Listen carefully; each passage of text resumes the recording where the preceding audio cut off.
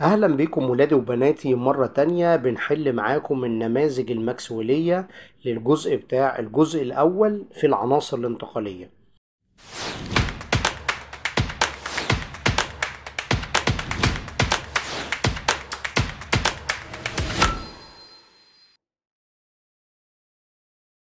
آه، ومعانا النهاردة النموذج رقم اتنين. النموذج التاني بيقول لي السؤال الأول يحدث تفاعل ما عند درجة حرارة معينة. فإذا علمت أن طاقة التنشيط للتفاعل العكسي يعني عند النواتج بدون استخدام عامل حفاز أربعة أضعاف طاقة المواد الناتجة وقيمة التغير في المحتوى الحراري يعني الدلتا اتش بتساوي 50 وعند إضافة عامل حفاز إلى التفاعل انخفضت طاقة التنشيط بمقدار 10 يعني إذا مقدار الانخفاض بعشرة وعندك المحتوى الحراري 50 وأصبحت طاقة التنشيط للتفاعل الطردي بمية. يعني دلوقتي أنت عندك العشرة ده الانخفاض عندك المية ده طاقة التنشيط بعد استخدام عامل حفاز عندك الخمسين اللي هي الدلتا اتش يبقى إذا كل ده مجموعه 160 ده طاقة التنشيط لمين يا شباب ويا بنات للتفاعل العكسي. وإحنا قلنا التفاعل العكسي ده يعتبر أربع أضعاف يعني دول 160 يبقى إذا أكني الجزء الواحد طاقة تنشيط المواد الناتجة بس أكنها عبارة عن كام؟ أكنها 40 يبقى إحنا كده السؤال الإجابة رقم ألف. سؤال اتنين. الرسم الذي أمامك يوضح التدرج في نص قطر العناصر الانتقالية في الدورة الرابعة. أول ما أنت بصيت على نص القطر إحنا قلنا يا شباب ويا بنات نص القطر بيقل وبعدين بيثبت ويزيد عند ناحية مثلا النحاس أو الخرسين. فإذا أنا دلوقتي بيقول لي ما العنصران الذي يستخدم أحد مركباتهما كمبيد للفطريات. مبيد للفطريات يبقى عندك كبريتات منجنيز وعندك كبريتات نحاس. طب يبقى النحاس في الشكل ده آي والمنجنيز اللي هو إي. فإذا كده اخترنا رقم ألف. سؤال رقم ثلاثة عنصر انتقالي يشبه الحديد في صناعة المغناطيسيات. يبقى ده الكوبالت والبطاريات الجافة. يبقى تأكدت إنه كوبالت. يكون التوزيع الذر للذرة بتاعته إيه؟ فإذا طبعا ده الكوبالت أكنه 27 يبقى 4 s 2 3 d 7 يبقى الاختيار رقم ج سؤال 4 ما زوج الأيونات الذي يحتوي المستوى الفرعي 3 d فيه على خمس إلكترونات مفردة؟ خلي بالك أنا هجرب بقى كل واحد. Fe موجب 2 ال d هيبقى فيه 6 يبقى 4 مفرد يبقى دي مش هتنفع. الفانديوم موجب 4 ال d هيبقى فيها واحد فدي مش هتنفع. رقم د اف يو موجب 3 حشنة 2 من الاس واحد من الدي ادي 5 حشنة 2 من الاس في المنجنيز ادي 5 يبقى الإجابة رقم ج سؤال 5 عنصر انتقالي رئيسي من السلسلة الانتقالية الأولى يكون ضاية مغناطيسية في حالة التأكسد موجب واحد. ما التوزيع الإلكتروني لأيونه الأكثر شيوعا؟ طبعا هو بيقول لي ضاية في حالة تأكسد موجب واحد يعني لو شلنا الواحد هيبقى ضاية يبقى ده النحاس. طب يبقى حالة التأكسد التأكسد الأكثر شيوعا موجب 2 اللي هي في النحاس. يبقى إذا أرجون 18 3 دي 9 يبقى الإجابة كده رقم ألف. سؤال رقم 6 أي من هذه المركبات ينجذب للمجال المغناطيسي؟ يعني في إلكترونات مفردة. ألف السكنديوم موجب 3 ال d فيه صفر فده ضايع. ب هيبقى الفانديوم موجب 5 ال d فيه صفر يبقى ده ضايع.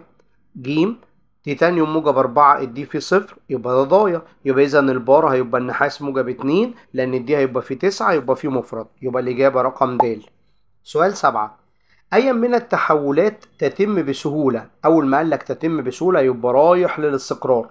يبقى أنا هشوف كده مين في دول رايح للاستقرار. ألف.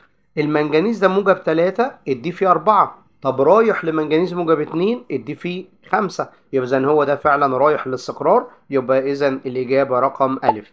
سؤال 8 اي من أزواج المركبات التالية لها نفس العزم لها نفس العزم يعني نفس عدد الإلكترونات المفردة.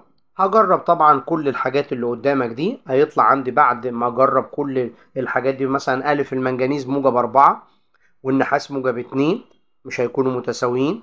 رقم ب التيتانيوم موجب 3 والكروم موجب 3 الجيم هيبقى الحديد موجب 2 والكروم ده هيبقى موجب 6 فده برضو مش متساوي العزم.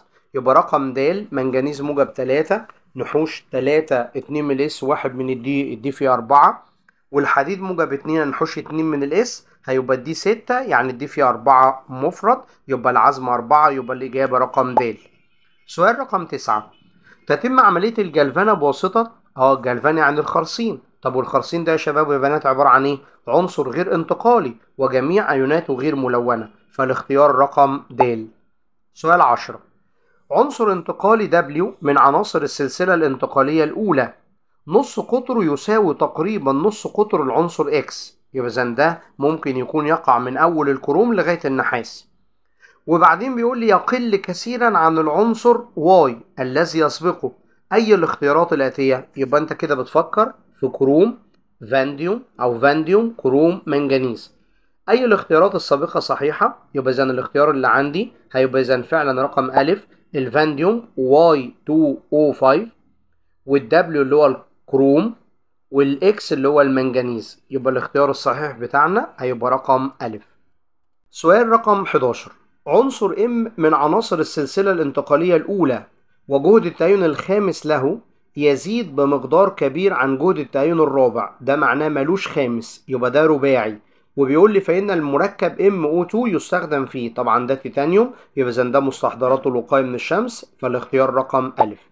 سؤال 12 التركيب الإلكتروني لأيون العنصر X من المركب في المركب X2O3 يبقى إذا ده X موجب 3 به خمس إلكترونات مفردة.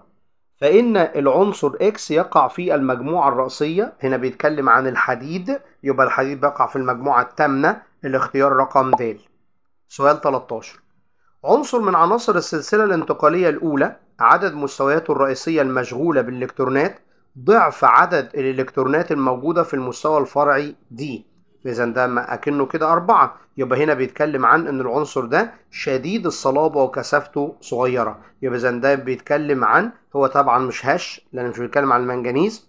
جميع أيوناته غير ملونة وضايع يبقى هنا مش بيتكلم عن السكنديوم ولا الخرسين. يدخل في سبائك العملة يبقى هنا برضو مش بيتكلم عن عنصر النحاس. يبقى الإجابة رقم ألف. سؤال 14 الرسم الذي أمامك يوضح التدرج في نص القطر العناصر الانتقالية في الدورة الرابعة فإن العنصران المكونان لسبيكة قضبان السكك الحادية لو أنت لاحظت نص القطر بيقل من إيه لغاية دي يعني من السكنديوم للكروم وبيثبت من الكروم لغاية النحاس. يبقى اذا دلوقتي هو عايز الحديد والمنجنيز الحديد هيبقى عبارة عن F Y اللي هو على الرسمة عندك الرسمة البيانية يبقى الاختيار رقم ج سؤال رقم 15 أي من العبارات الآتية صحيحة بالنسبة للعنصر الأقل كثافة؟ بيتكلم عن السكنديوم. يبقى عنصر السكنديوم عنصر انتقالي جميع مركباته ملونة خطأ. عنصر السكنديوم انتقالي وجميع مركباته غير ملونة. آه العبارة صح. يبقى الاختيار رقم ب 16 عنصران انتقاليان X و Y. من مركباتهما X2O3 و Y2O3 يبقى إذا ده معناه إن ده ثلاثي وده ثلاثي يبقى ده الكروم وده الحديد. المركب X2O3 يستخدم في عمل الأصباغ يبقى كده أنا اتأكدت إن الإكس ده الكروم والمركب Y2O3 يستخدم كلون أحمر في الدهانات يبقى ده أكسيد الحديد 3 يبقى كده يا شباب ويا بنات العنصر X أكبر عزم مغناطيسي من العنصر Y والأيون X موجب 3 أكبر عزم مغناطيسي من الأيون X موجب 3 يبقى الاختيار عندي هيبقى رقم ج وبالمناسبة ألف وج متكررين زي بعض. إذا هي ألف أو ج سؤال رقم 17 عنصر X تركيبه الإلكتروني أرجون 18 3 دي 3 4 إس 2 فإنه يكون. طبعا ده يعتبر عنصر الفانديوم. يبقى ده بارا مغناطيسي في حالة التأكسد موجب 3 العبارة صحيحة. يبقى كده اخترنا الإجابة رقم ج سؤال 18 العنصر الانتقالي الذي يحتوي على إلكترون مفرد في حالته الذرية وله مركبات بارا وملونة طبعا ده يعتبر عنصر النحاس يبقى عنصر النحاس محلول أحد مركباته يتغير لونه عند خلطه مع محلول سكر الجلوكوز يبقى الإجابة رقم ج سؤال رقم 19 عنصر X من عناصر السلسلة الانتقالية يستخدم أحد مركباته كمبيد حشري يبقى بنتكلم عن المنجنيز أو النحاس.